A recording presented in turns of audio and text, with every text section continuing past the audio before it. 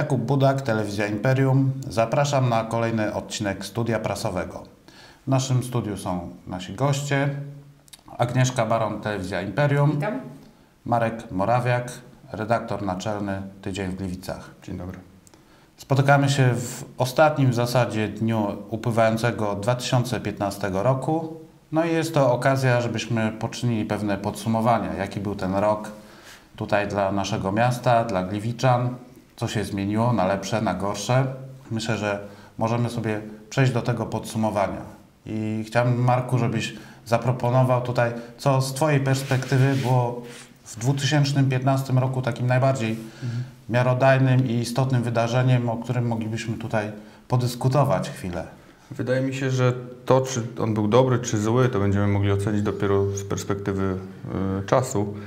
Zobaczymy, zobaczymy, jak te działania w mieście wpłynęły na jego funkcjonowanie. No na pewno y, według mnie najważniejszym wydarzeniem, inwestycją jest y, ukończona drogowa trasa średnicowa. E, Tam już są jakieś chyba prace teraz tylko wykończeniowe, następnie odbiory i w połowie marca jest zapowiadane, że już DTS-ką będziemy mogli jeździć w końcu po 30 chyba kilku latach od e, czasu, kiedy ten projekt powstał. E, Nareszcie Gliwice połączyły się e, z pozostałymi miastami. Chociaż aglomeracji. i tak się wtrącę, że No. właśnie pomysł utworzenia DTS-ki to nie był pomysł w sensie Polaków, tylko to był pomysł jeszcze niemiecki. Także już w sumie nawet nie 30 lat, tylko trochę więcej, no ale w końcu, w końcu się udało. No ale na, pe- na, pewno, na pewno się zgadzamy, że to jest inwestycja bardzo ważna, która, która w dużym stopniu wpłynie na to, jak będzie funkcjonowało nasze miasto. Miejmy nadzieję, że te zapowiedzi o rozładowaniu ruchu w centrum e, rzeczywiście się spełnią. A tu od razu, jeśli chodzi o zapowiedzi, ja bym chciał tak płynnie przejść do parkowania. Może potem jeszcze do DTS wrócimy, ale e, Znaczy ja myślę tak, Mhm. przejdziemy do parkowania, tylko tak dwa słowa możemy powiedzieć w zasadzie o tej budowie DTS-ki, no bo było tu już wszystko, co, co mogło być, już tutaj wykonawcy schodzili z budowy, były wampiry, były no masa, masa wydarzeń, w zasadzie koszmar tutaj komunikacyjny, który, który wszystkim się dał we znaki i, i w zasadzie no jest pytanie, czy, czy było warto, czy, czy w zasadzie, czy my jako tutaj Gliwiczanie to e, wiadomo wyraziliśmy zgodę tutaj na pewne niedogodności, ale czy one były takie w takim stopniu tutaj nam aplikowane, w jakim mogliśmy to udźwignąć i, i na jaki się zgodziliśmy, nie? Czy, czy jednak tutaj można było czegoś uniknąć, czy mogło być lepiej? Moim zdaniem tak, żeby było lepiej, najpierw musi być gorzej, także moim zdaniem trzeba się było po prostu przemęczyć i na przykładzie Zabrze czy pozostałych tych miast widać, że ta DTS-ka odciążyła miasto. W sensie takim, że już y, ktoś, kto jedzie na przykład, nie wiem, z, z Katowic do Zabrza, no w zasadzie później na Degola wpada i jest w mieście. A tak musiał wcześniej jechać tymi, że tak powiem, ościennymi miastami, także to na pewno ułatwi e, komunikację, rozładuje ten ruch, no ale mówię, dla, tutaj dla nas e, też ten rok właśnie komunikacyjnie był bardzo taki skomplikowany, bo cały czas coś się działo. W zeszłym roku zamknięcie zwycięstwa. Teraz moim zdaniem na wiosnę będzie tam ładnie. Powstał skwer nad stropem tunelu, będą miejsca parkingowe darmowe od wiosny, około, około 100, także będzie można uciec znowu od strefy płatnego parkowania, ale to o strefie myślę, że e, zaraz powiemy. No, będzie to na pewno inwestycja, którą będziemy wspominać latami. Będzie jeden z dłuższych tunelów w Polsce z oświetleniem LEDowym, pierwszym takim w Polsce, który będzie, które będzie ekologiczne. Także to też e, warto zaznaczyć, że też o takim aspekcie pomyślano już w zasadzie od zeszłego roku. Zarząd Dróg Miejskich się szkolił w Katowicach. E, W sensie tutaj chodzi o właśnie o kierowanie ruchem w tunelu, żeby w razie wypadku w jakiś sposób tutaj móc zadziałać szybko. Bo wiadomo, że w wypadku, w wypadku wypadków komunikacyjnych to właśnie reakcja jest tutaj e, najważniejsza. No, dla nas tutaj też jeszcze dotkliwy był na przykład remont e, wiaduktu na bohaterów getta warszawskiego, bo my z, Floriańskiej zawsze prawie, że tamtędy jechaliśmy. Także mówię, to był intensywny rok dla kierowców. Ja mogę być trochę ten, mm, można tu uznać za czepianie się, natomiast y, diabeł tkwi w szczegółach. Nie wiem, czy zwróciliście uwagę na latarnie, jakie są na tym skwerze, o którym wspomniałaś. Ja się Tym- na choince Tym, aha, skupiłaś się na choince. I Właśnie palmiarni, mnie, palmiarni mnie było bardzo takie rzeczy irytują, bo te drobne szczegóły, takie wykończenia potem decydują jakby o, o, tak naprawdę o całokształcie takiej realizacji. E, Zwróćcie uwagę na latarnie, które są pomiędzy starymi kamienicami. No co prawda tam powstaje ten szkieletor, mm, nowoczesny szklany budynek, ale czy naprawdę nie można było dać latarni, które jakoś nawiązują do charakteru jednak ulicy Zwycięstwa i, i secesyjnych kamienic? Czy to musiały być takie nowoczesne, e, zwykłe, proste lampy? No to takie tam. Znaczy, Taki szczególik, który mnie, na który ja zwracam uwagę.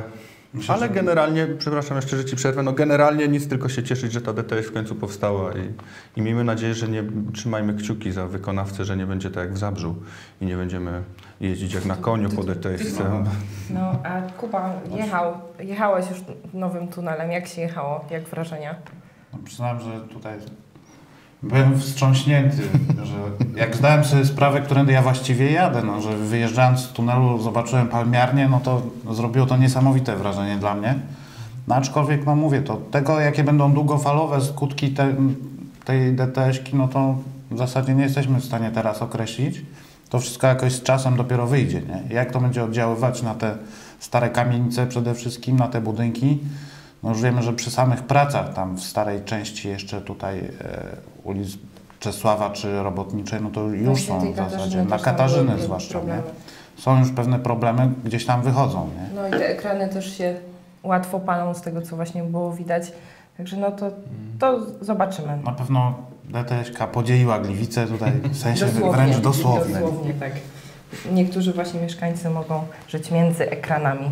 Też realizowaliśmy właśnie taki program z kamerą wśród ludzi i tam nasz reporter Andrzej Wawrzyczek właśnie rozmawiał e, z mieszkańcami tych, no niestety, takich e, dosyć trudnych punktów, trudnych ulic, ale poczekamy, zobaczymy. To ja może teraz przejdę do strefy płatnego parkowania. Jak Państwo pewnie sami wiecie, to miało być już wprowadzone dobrych kilka lat temu. Później miał być lipiec, no i koniec końców w lecie wystartowały z pewnym falstartem, można też powiedzieć. Te, te piapy, bo to nie jest tylko parkomat, tylko to jest piap, jest dumne takie rozwinięcie, którego już teraz nie- potrafię Jakoś z angielskiego na Piap- pewno było. Nie, nie, nie, z polskiego. Ach, z Z polskiego, no także, proszę. bo to nie są tylko parkomaty, docelowo mamy też tam na przykład kupić Mhm. e, bilet na mecz Piasta o Pieści, pewnie też powiemy, e, ale moim zdaniem te strefy płatnego parkowania były potrzebne w centrum miasta, z tego względu, że dla nas jest to bardzo potrzebne, tak? Jedziemy na przykład na nagranie, na kilka minut potrzebujemy Mhm. to auto zostawić, mamy gdzie zaparkować zawsze. Czyli to, co mediom jest potrzebne, to Tak, jest potrzebne. tak, to tak, jest dobre. jest potrzebne. Rozumiem. Okej. Myślę, że tu jest takim problemem też no, to, co jest e, jednak udogodnieniem dla tych, którzy przyjeżdżają do centrum, no to jednak jest obciążeniem dla mieszkańców. Nie? Tu jest No. ten aspekt. Na pewno my mamy redakcję w, właściwie w ścisłym centrum, w strefie A płatnego parkowania i od pierwszych dni to się dało zauważyć, że tych aut jest naprawdę o połowę mniej nagle w centrum. Była ulica Zwycięstwa, była wręcz pusta. Wrzucaliśmy takie zdjęcia o różnych godzinach, gdzie zazwyczaj e, zapchany, brzydko mówiąc, e, plac inwalidów wojennych. Mamy zawsze pełno audio, połowa miejsc była wolna. Jak wcześniej wspominałem, zwycięstwa przejezdna. Także rzeczywiście e, ta rotacja, o której, o którą zapowiadano, że, że po to te piapy, tak naprawdę te strefy płatnego parkowania się wprowadza, żeby zwiększyć rotację e, tych miejsc postojowych, to, to trzeba przyznać, że to zadziałało. Tak, i to też jest właśnie ważne ze względu na to, że już się remont starówki zakończył. Także już też możemy przyjechać. No i tutaj pojawia się problem. W zasadzie już tego problemu nie ma. Biała brama, którą odkry, od, odkopali najpierw robotnicy, przyszli archeolodzy, stwierdzili, że to jest właśnie, znaczy fundamenty białej bramy. I no niestety została zasypana. Jak, jaka jest To Twoja bardzo- opinia bardzo- właśnie na temat Bardzo tego, jak to teraz wygląda? Bardzo płynnie przeszłaś do tematu starówki, muszę przyznać. To też duże wydarzenie, bo 5 lat ten remont trwał i też żeśmy się troszkę przemęczyli z nim, zwłaszcza mm, najemcy czy właściciele lokali, którzy, które się znajdowały czy to na rynku, czy, czy w bocznych ulicach od rynku. E, ale myślę, że koniec końców też nam to na dobre wyszło. Wystarczy się przejść tymi uliczkami, one od razu ładnie wyglądają. Nawet jeśli nie wszystkie kamienice są wyremontowane, to rzeczywiście, kiedy już jest e, zrobiony chodnik, od razu jest lepiej. Nawet brzydkie kamienice nie są wtedy tak brzydkie. A robi się ich coraz więcej, trzeba przyznać. Ale wracając do, do Twojego pytania, no. Rozmawialiśmy o tym z redaktor Lichecką tutaj kilka tygodni temu. No, trochę to, to, to przykre, no, że, że nie udało się tej bramy w żaden sposób e, jakoś e, pomóż, o właśnie, wyeksponować, dziękuję, zabrakło mi słowa. No ale w, w, tam chyba nie było też takiej możliwości jak przy bramie Raciborskiej, żeby wygospodarować taki duży plac, żeby to ładnie, ładnie zagospodarować i, i pokazać.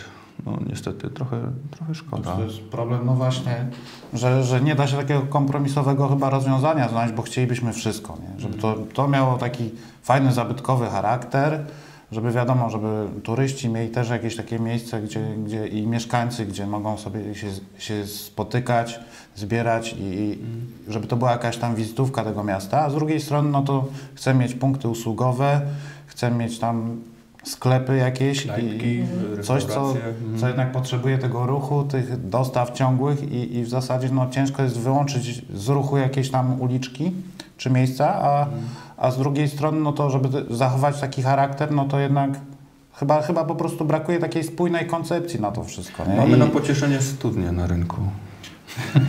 Tak, i Neptuna, który pilnuje studni. Tak jest. Takim, wydaje mi się, też ważnym wydarzeniem, może nie politycznym, może nie takim inwestycyjnym, to jest na pewno Piast Gliwice, który można powiedzieć dla wszystkich, nawet dla samych piastunek jest zaskoczeniem. Ty tutaj widać, że też na bieżąco po prostu Tak, tak, dokumentowałeś te kolejne sukcesy często, Piasta. Często panowie gościli na pierwszej stronie w tym roku.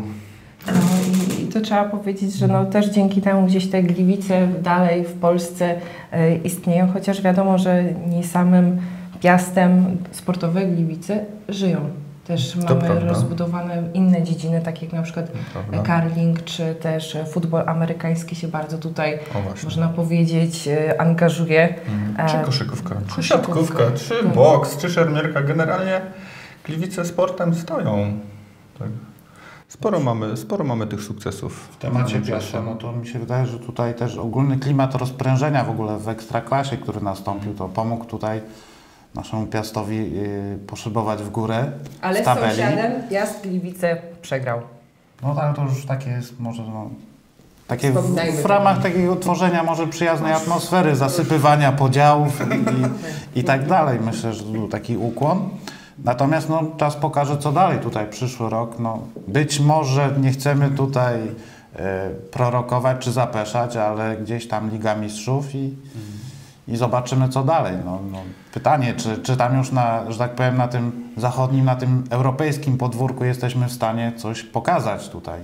I, i, i tam, że tak powiem, wypromować nasze miasto, nasz klub i, i, i zaistnieć po prostu. Myślę, że Pójść ważne, dalej. ważne odnotowania jest też to, że y, Piast znalazł w końcu sponsora, więc to jest chyba wynik tej dobrej gry. To, co przez, przez lata się y, Piastowi czy miastu zarzucało, tak, że, że Piast e, dostaje bardzo duże pieniądze z budżetu miasta. To duże to jest też kwestia to jest subiektywne odczucie, bo w Zabrzu na, na górnika, już nie mówiąc o samej budowie, ale na klub e, zdaje się ponad 40 milionów przeznaczono, w, w Gliwicach to jest 10 czy 12, tak, a, a jednak e, jesteśmy nieco bogatszym miastem niż Zabrze.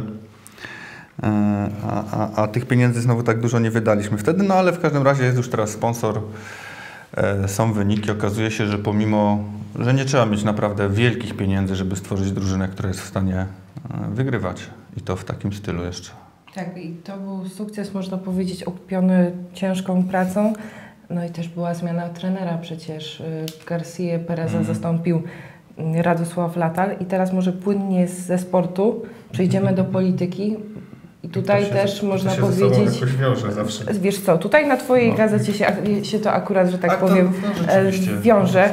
Można Mhm. powiedzieć, że ten rok to jest w zasadzie rok trzech zasadzie nazwisk, moim Mhm. zdaniem takich gliwickich, tak? Ostatnio to jest tak Jarosław e, Wieczorek, Tak. który Mhm. został wojewodą, e, poseł obecnie Borys Budka, który no, teraz jest bardzo zajętym człowiekiem, wcześniej... Twarzą Platformy właściwie stał się w ostatnich tygodniach. Tak, e, wcześniej był, no i też, też prawie, że ostatnie tygodnie, no tutaj Paweł Kobyliński zaistniał, można powiedzieć, w ogólnopolskich mediach, bo odszedł z Kukiza. No, odszedł. Natomiast ja- zauważyłem mm, taką tendencję, generalnie jest ona w tych mediach y, ogólnopolskich, jak, jak różne y, strony, no, bo wiemy, że, że nasze polskie media mają swoje sympatie polityczne i jak każda z tych stron barykady y, przedstawiała to wydarzenie. E, tytuły, zdaje się to było w Wyborczej, że Paweł Kobyliński, nie, było mu za, za duszno w Kukizie, woli nowoczesną, czyli takie, bar, takie pozytywne, prawda? W pewnym sensie, natomiast znowu media te y, bardziej, nazwijmy je prawicowe, no nie zostawiały suchej nitki na, na, na panu Pawle i zresztą internauci też jej chyba nie zostawili. Nie wiem jak, jak u was, ale U nas było u nas, było bardzo Też dużo właśnie też na wywiadem. Facebooku i, i raczej nie były one przychylne. Zresztą widziałem też y, takie plakaty, nie wiem czy mieliście okazję, też to po Facebooku gdzieś lata mm, y, właśnie pana Kobylińskiego, który jest poszukiwany takim listem gończym za oszukanie wyborców. Tak, a No. niektórzy właśnie też politycy, na przykład tutaj Kaźmierczak się z polityką pożegnali. Także, ale pojawiły się za to nowe tak, pojawili nazwiska. się, pojawili się nowi ludzie. A co do, co do pana Pawła jeszcze samego, no mm, ciężko jest takie decyzje oceniać, bo, bo nigdy nie mamy pewności, czy, czy to jest e, z wyrachowania takie działanie, e, czy rzeczywiście e, pan Paweł, pan Paweł miał powody, żeby, żeby do nowoczesnej przejść. No może rzeczywiście się gdzieś tam inaczej sobie tą pracę w klubie parlamentarnym Kukiz 15 wyobrażał. Może jest to taka też cena, którą generalnie ugrupowanie Kukiz 15 płaci za ten jednak brak jakiegoś spójnego kręgosłupa i, i, i może się tak okazało po prostu, że to była taka platforma wyborcza, która ileś tych nazwisk na fali popularności lidera wyniosła do góry. No a teraz już dopiero w zasadzie zaczyna, dopiero po wyborach zaczyna się kształtować jakiś sensowny, no sensowny, to już dużo powiedziane, klarowny program. Klarowny program i wiadomo, w tym konflikcie politycznym też zajmowane są miejsca. Nie? I może to, to jest przyczyna i, i takich przejść z Kukiz 15 będzie więcej nie? w najbliższym czasie. Prawdopodobnie mogą być też przejścia z platformy i to nawet masowe. Tak też może się wydarzyć w przyszłym roku. O ile nowoczesna y, rzeczywiście będzie tak zyskiwała na poparciu, jak to pokazują ostatnie sondaże. No w każdym razie mamy dwóch posłów z nowoczesnej, dwoje, przepraszam, posłów z nowoczesnej, bo jeszcze Marta Golbik, y, która się z jedynki z tej nowoczesnej dostała i raczej nic nie wskazuje na to, żeby się miała przenosić na przykład do Kukiza taki transfer. Jeden za jeden. No ale to mówimy teraz o sytuacji po wyborach, ale przed wyborami też się tutaj e, sporo działo. Mam na myśli to, że politycy, wielcy politycy, przedstawiciele partii tutaj do nas, do Gliwic e, przyjeżdżali, obiecywali, rozdawali kołocze pod kopalnią. Tutaj może bez nazwy, jaka to była partia. E, O właśnie, kopalnie. Tutaj też już w zasadzie od stycznia się zaczęło, że tak powiem, robić gorąco. Rząd poprzedni mówił, że zrobimy, stworzymy, naprawimy, ale jakoś sprawa, że tak powiem, ucichła teraz. No nie jest to pierwszy rząd, który mówił, Tak że, że załatwi tą sprawę. Na przestrzeni tych lat ostatnich, no to wiadomo, że co któraś ekipa w zasadzie no, próbowała się zabierać za ten temat, no ale też wiadomo, że w roku wyborczym nic takiego nigdy nie nastąpi. Nie? A to, że już jakaś partia czy rząd na odchodnym próbuje coś tam zasugerować, to jedynie no to może świadczyć o tym, że nikt nie chce tego załatwić, nie? Bo, bo wiadomo już było w zasadzie, że tutaj skończą się te czasy. No i myślę, że obecna tutaj, obecny zwycięzca wyborów i ten rząd, który się uformował, no to jest bardzo daleki od tego, żeby tutaj w ogóle się zabierać za ten temat. No już widzimy, jakie napięcia tutaj społeczne i, i, i polityczne wywołuje dopiero co wejście tego, tej ekipy. Także no już przy antagonizowaniu różnych środowisk, to jeszcze branie się za ciężki przemysł i za górnictwo zwłaszcza, no to może być bardzo ryzykowne. Tak, wojna na wszystkich frontach y, generalnie jeszcze nikomu nie wyszła chyba, tak żeby ze wszystkimi naraz wojować. Ale y, politycy mówili też dużo o bumarze łabędy przed y, wyborami, zwłaszcza pamiętam ci lewicowi, pan Kalita, przyjechał tutaj też pan Wenderlich, byli w bumarze i dużo się o tym mówiło, że kolejne ekipy obiecują tak z kopalniami, że bumarowi się teraz będzie lepiej żyło. No i, I pod koniec będzie. roku, pod koniec roku taka miła niespodzianka nam się tutaj pojawiła, Bumar rzeczywiście podpisał kontrakt Na, na, modernizację, modernizację. Leopardów 2,5 Mhm. miliarda złotych, także, ale to jest dopiero kontrakt, który będzie realizowany w latach 2018-2020, także pytanie, co będzie do tego czasu. Ale skoro już e, rozmawiamy o zmianach, o zmianie na jakimś stanowisku, no to Mhm. tutaj też e, sporo się podziało. Mamy nowego dyrektora aresztu e, śledczego, no i mamy też nowego, nowego w zasadzie trochę starego dyrektora Gliwickiego Teatru Muzycznego, który był tutaj Parę tygodni temu naszym gościem, czyli Grzegorz Krawczyk, zastąpił na stanowisku dyrektora Gliwickiego Teatru Muzycznego Pawła Gabarę, który można powiedzieć awansował do pierwszej ligi, bo teraz jest dyrektorem w Łodzi. Czy Waszym zdaniem będzie, ta zmiana będzie na lepsze, na gorsze? Myślę, że na lepsze. Mimo wszystko, o ile znam pana mm, Krawczyka i to, jak poprowadził muzeum od czasów, kiedy jest tam dyrektorem, no to y, wszystko wskazuje na to, że, że nie mamy się czego obawiać. Na pewno, na pewno finansowo, mm, Ekonomicznie, ekonomicznie na pewno, bo, bo, bo tu trzeba przyznać, że pan Krawczyk, jeśli chodzi o zarządzanie tak pieniędzmi, że tak powiem, to, to tu się wykazał. Ym, Wiemy, że potrafi to robić. A od tej strony artystycznej, no, muzeum zajął się dobrze. Zobaczymy, czy teatr to nie jest do końca to samo, co muzeum, ale to jest ambitny tylko, człowiek. trochę mu nie zaszkodziła ta atmosfera tej zmiany. No, czy nie dało się tego uniknąć tutaj? No, mowa wiadomo o tym konkursie, No tak. quasi konkursie w zasadzie i, i, i wszystkich tych emocjach, które temu towarzyszyły. No, myślę, że tutaj jakaś sensowna może rozmowa z panem Gabarą by pozwoliła uniknąć tych problemów, które Pewnie mamy. I też jakiś kompromis, gdyby wypracowano, no bo tutaj wiadomo, że pewne sprawy lepiej jak zostają gdzieś tam w cieniu, zamiast wywlekania jakichś brudów i, i, i tutaj publicznych, że tak powiem, wycieczek, takich ataków osobistych wręcz, nie? Tak, to może powiedzmy o tym, co było dobre w Gliwickim Teatrze Muzycznym. To przede wszystkim premiera broadwayowskiego hitu, czyli Rodzina Adamsów, też były powroty, czyli um, Abba w stylu gliwickim, też było fajnie. A w muzeum, w muzeum moim zdaniem też się bardzo dużo działo, bo to była to były dwie nowe wystawy, o ile nie więcej, czyli to byli tak, Samuraje w październiku. E, wcześniej, w pierwszej połowie roku to była wystawa Rzecz o szlachcie polskiej. Jeszcze była Noc Muzeów, gdzie były po prostu tłumy. Ja podchodziłam właśnie do muzealników i się pytałam, no jak, jak było w zeszłym roku?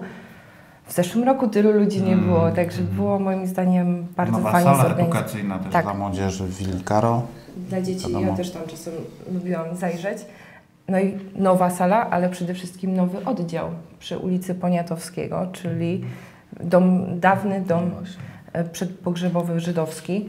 No tutaj też sporo pieniędzy zostało miejskich wydanych. Nie udało się miastu pozyskać, pozyskać zewnętrznych środków, ale moim zdaniem było warto, bo jest to naprawdę obiekt taki no nietuzinkowy, nietuzinkowy, specyficzny i też ważne jest to, że to nie jest tak, że muzeum dostanie ten obiekt w posiadanie i nie mają na to pomysłu, bo mają dużo Mhm. pomysłów, tylko żeby teraz jeszcze te pomysły udało mi się po prostu zrealizować. No, zobaczymy w przyszłym roku i w latach następnych. Tak. Mam nadzieję, że to się oczywiście przełoży na tutaj życie też zwykłych Gliwiczan, którzy mając do dyspozycji tyle obiektów kulturalnych, muzeów i tak dalej, to jednak zaczną korzystać z tych atrakcji. Nie będzie to dla takiego wąskiego grona, że tak powiem, odbiorców jak do tej pory. No. Umówmy Myślę, się, że... generalnie kultura ma pewien problem z takim przebiciem się do y, szarego człowieka, y, bo wciąż y, uchodzi za takie dobro ekskluzywne, jeśli nie elitarne, tak? Do kultury trzeba dorosnąć, żeby, żeby się móc nią cieszyć. I to jest dość spory problem tej naszej gliwickiej kultury, bo tutaj, tak jak zresztą rozmawialiśmy wcześniej, że, że wydarzeń kulturalnych jest bardzo dużo. Natomiast brakuje kultury. Yy, Nie wiem, czy wiecie o co mi chodzi. No, no jest to miasto, jakby nie było jednak Politechniki Śląskiej i, i, i trochę brakuje uczelni humanistycznej, e, która by, która by tej kultury e, chciała zaznać. Bo no, nie oszukujmy się, ale ludzie o ścisłych umysłach raczej raczej kulturę traktują jak coś takiego bardzo abstrakcyjnego. Nie, nienamacalnego, nierealnego, więc, więc to może być duży problem. Kultura ma też u nas problem z promocją, uważam. Mm, nie wiem, może trochę w tym naszej winy, może trochę winy e, organizatorów tej kultury, mm, że jej po prostu nie promują. Tak mi się wydaje. Znaczy to jest, takie, to jest taka promocja no, po łebkach, tak? Bo, za 5.12. Za 5.12, tak? Bo, bo musimy, e, musimy E, gdzieś tam mediom podrzucić informacje, natomiast nie ma takiej spójnej koncepcji e, promowania tych wydarzeń i nie tylko w Gliwicach, ale poza Gliwicami, tak? bo mamy i uliczników, mamy Noc Muzeów, mamy wiele innych imprez, ale wiemy o nich my, może większa, może mniejsza część Gliwicza, no obawiam się, że mniejsza. No a tak poza Gliwicami niestety chyba jest cicho. Znaczy, fajnie, że Gliwice promują się jako miasto takie bogate, w którym jest praca, w którym są dobre zarobki i to miasto nowych technologii, ale no, to, co wcześniej już rozmawialiśmy w kilku programach, że brakuje tego takiego mm, ducha. Może jest też takie pytanie, czy ta nasza kultura nie jest zbytnio taka ugłaskana już? To nie jest taka kultura, która gdzieś tam wychodzi do odbiorcy, tylko jednak jest przeznaczona dla tych, którzy gdzieś tam chodzą do galerii, którzy tak interesują się tym, co się dzieje. Natomiast no, widzimy w świecie, że też jest taki nurt kultury, która jednak prowokuje, nie? która wychodzi do tych odbiorców, którzy niekoniecznie są nastawieni na jej odbiór. Nie?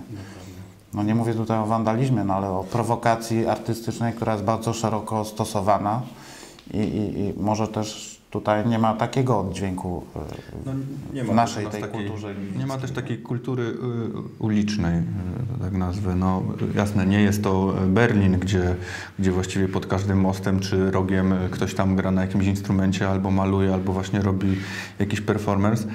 E, no ale przydałoby się jednak trochę więcej tej kultury takiej na ulicy, takiej wychodzącej do człowieka.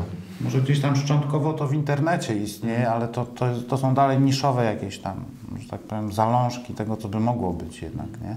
A ja się z Wami nie zgodzę. Ja się z Wami o. nie zgodzę, bo ja, że tak powiem, kulturą prawie, że żyję tutaj um, w telewizji.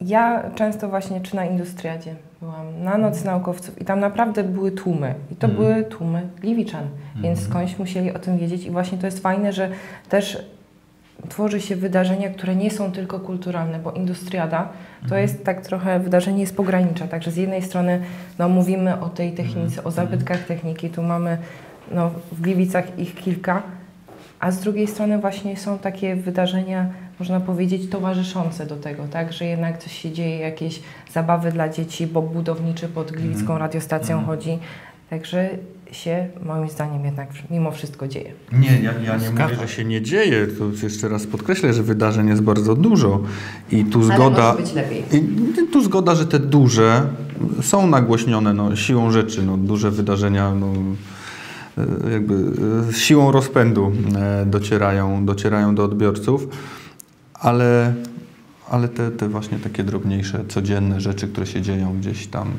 po cichutku jest, i mało kto o nich wie. Jest prawda? na pewno taka różnica, ja to widzę chociażby po sobie. No, przed kilkoma laty nie było gdzie pójść czasami po prostu. No, były takie weekendy, takie okresy w roku, że naprawdę nic się nie działo. No. Teraz, teraz nie ma tego problemu, teraz się dużo dzieje. Jeśli ktoś jest chętny, no to, no to nie ma problemu, żeby gdzieś poszedł w zasadzie, znalazł coś dla siebie. Tylko chodziło nam, mi się wydaje, o taką rzecz, że to jeszcze nie jest taka kultura, o której się dyskutuje w domach. Mhm że jacyś artyści coś robią i naprawdę mhm. wbijają, no wiadomo, szpile.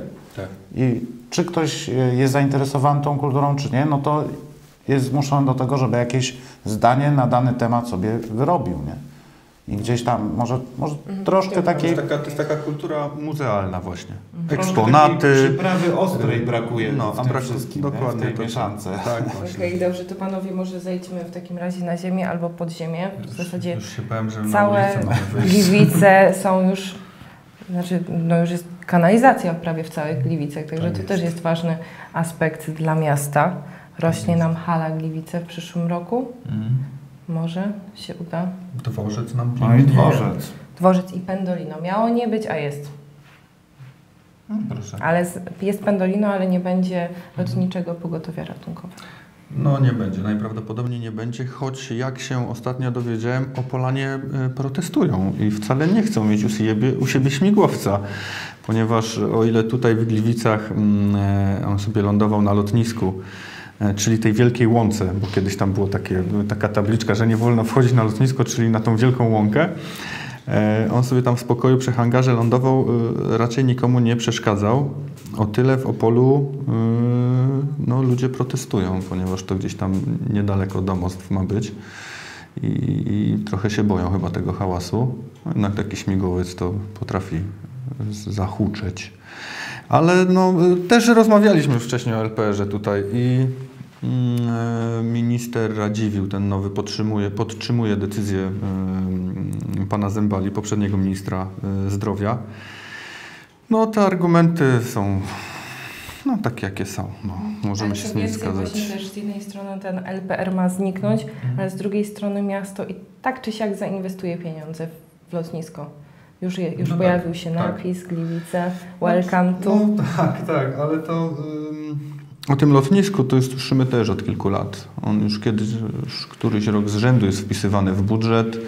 E, Kiedyś już był też zgłoszony mm, do wojewody, tak, jako jeden z projektów, na które Gliwice chciały pieniądze. Wtedy wojewoda nam chyba utrącił wszystkie 72 projekty, które zgłosiliśmy. Nie wiem, czy to miała być taka kara e, za, za, za niedziałanie po linii y, partii naszych władz, no ale, ale to lotnisko już kilka lat temu miało być rozbudowywane. No miejmy nadzieję, że to się, że to się stanie, zwłaszcza, że tam teraz niedaleko skrzyżowania mm, dwóch ważnych autostrad i e, tej strefy biznesu, czyli Nowe Gliwice, gdzie powstają kolejne e, firmy z branży informatycznej, no taki obiekt jak lotnisko dla śmigłowców czy małych samolotów bardzo by się przydał.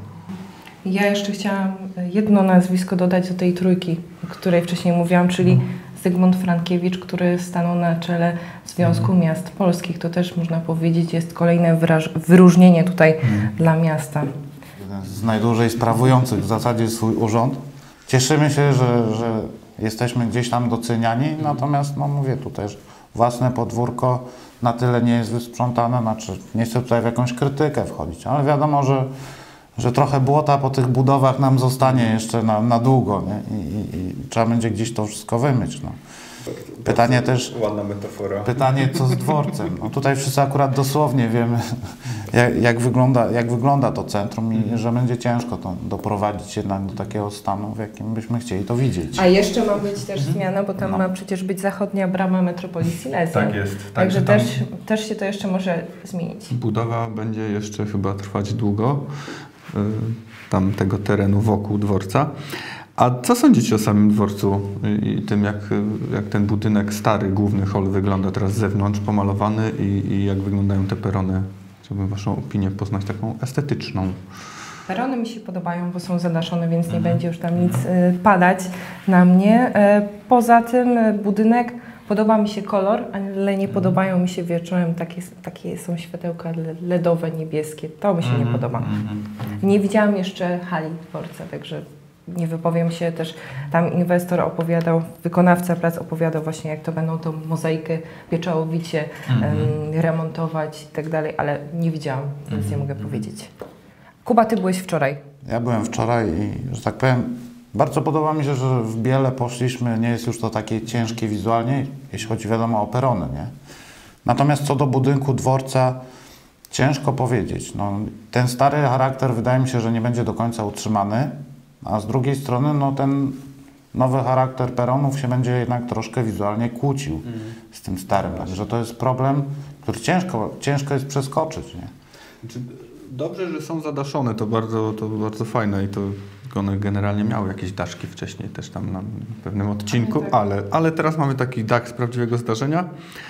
E, No i właśnie, właśnie te- filary białe i ten dach mi trochę nie daje spokoju, bo to co Kuba mówił, że to troszkę do siebie nie pasuje. E, Myślę, że gdyby to zrobić na przykład, e, nie wiem, zielone, dać imitację nitów, Żeby to nie było aż tak nowoczesne, żeby jednak nawiązywało stylem trochę do takiego dworca, jakby nie było no, stuletniego, czy, czy nawet starszego. No, fajnie, ale chyba trochę za bardzo to ze sobą kontrastuje. No, można było tak to do siebie zbliżyć, wydaje mi się. I gołębie No, no jeszcze nie wyimigrowały tutaj. Z ostatniej chwili wiadomość, całkiem dobrze się mają i tam sobie urzędują. Zobaczymy, Obawiam czy... się trochę o ten biały kolor, a jeszcze bardziej obawiam się o willę Neumana na, na Rybnickiej. Cała biała, Łącznie z dachem. na Śląsku, w, w mieście, w którym y, zdarza się przekroczyć normy smogu. Nie wiem, może taki jest pomysł, że ją będą co pół roku malować. Albo myć, bo też Albo myć. jest taka No możliwość. tak. Na samo zakończenie jeszcze chciałbym, żebyśmy poruszyli jeden temat, mia- mianowicie gliwicka medycyna, tutaj Centrum Onkologii. Jakie jest Wasze zdanie? I, i zarówno w kwestii tutaj e, formalno-prawnej statusu tej jednostki, a dwa e, w kwestii osiągnięć naszych lekarzy, wiadomo, zespołu doktora Maciejewskiego. Co Wy sądzicie na ten temat? Jaki to był rok? Znaczy moim zdaniem właśnie bardzo dobrze i fajnie, że oni potrafią sobie poradzić mimo tych takich niedogodności, tego, że właśnie się chcą odłączyć od Warszawy, ale tutaj jest problem. No i chwała im za to. Oby, oby więcej było takich przypadków. No tak, trzeba, trzeba pochwalić e, onkologię e, i za te spektakularne operacje i, i za to, jak sobie radzi finansowo, gdzie wiemy, że w Polsce z tą medycyną jest jak jest i z jej finansowaniem. E, Finansowe wyniki na tyle dobre, że aż zostali za to ukarani i musieli się tymi pieniędzmi podzielić z tymi, którzy radzą sobie gorzej, czy z Warszawą e, i chyba też z Krakowem. No, kto by się nie zdenerwował, gdyby musiał oddawać e, grube dziesiątki milionów komuś innemu, zamiast zainwestować we własny rozwój. No w końcu to, to nasza onkologia sobie wypracowała i, i te pieniądze uważam powinny tutaj przynajmniej w, w dużej części e, e, zostać i, i rozwijać dalej nasz instytut. No ale jest jak jest. No niestety na razie, na razie nic się nie zmieni, także nowy minister, tak jak w przypadku LPR-u, na razie podtrzymuje decyzję poprzedniego ministra. No, no, to jest po prostu pełna zgoda w tej Polsce. Wszyscy się ze sobą zgadzają. Te ostatnie lata takie były dosyć intensywne jednak dla, dla naszego instytutu. Tutaj to już przestał być tylko i wyłącznie taki szpital czy, czy klinika o, o większym zasięgu, ale to już jest ster, sterylizatornia narzędzi na przykład, gdzie w zasadzie wszystkie szpitale i, i, i tutaj podmioty medyczne korzystają. To jest w zasadzie, no wiadomo, że opieka nad e, zwłokami i tak dalej, gdzie też to jest, to już na stałe, na stałe wrosło tutaj w ten klimat nasz krajobraz medyczny i, i jest nie do zastąpienia. To już nie jest tylko szpital, to już jest wielka prawie fabryka. Także pozostaje nam mieć w zasadzie nadzieję, że 2016 rok dla gliwickiej medycyny będzie jeszcze lepszy. I, Nie tylko dla gliwickiej medycyny. i tutaj we wszystkich e, możliwych gałęziach naszych społecznych i, i organizacyjno-miejskich słuszny i przyniesie nam jeszcze więcej dobrych tematów do opisywania. Tutaj myślę, że jak już przeszliśmy do takich życzeń, to może po kolei złożymy je naszym tutaj widzom. W imieniu redakcji może Agnieszko jako kobieta zaczniesz. Drodzy telewidzowie, cieszymy się bardzo za to, że jesteście z nami i chcieli, chcielibyśmy, żebyście byli częściej i na ten nowy rok życzymy Wam przede wszystkim tego świętego spokoju. No To muszę się przyłączyć do tych życzeń. Generalnie tak, dużo, dużo spokoju Państwu życzę w tym nowym roku i to, y, żeby inwestycje, o których rozmawialiśmy, przełożyły się na, na, na Państwa życie bezpośrednio. Ja korzystając z okazji jeszcze chciałbym podziękować e, Wam za ten program, a także y, swoim czytelnikom za to, że są z nami i jest ich coraz więcej. No nie wspominając o klientach, którzy nam zaufali i zostali na następny rok. E, No a także wszystkim, wszystkim współpracownikom, którzy pomagają e, tą gazetę tworzyć, rodzinie, bliskim, bez wsparcia których pewnie wiele rzeczy by się nie udało zrealizować. Myślę, że tu się zgodzicie ze mną. Tak jest. Dziękuję. Życzymy Państwu dużo zdrowia w tym nowym nadchodzącym roku i życzymy wielu sukcesów na wszystkich polach, w jakich tutaj możemy tego Państwu życzyć.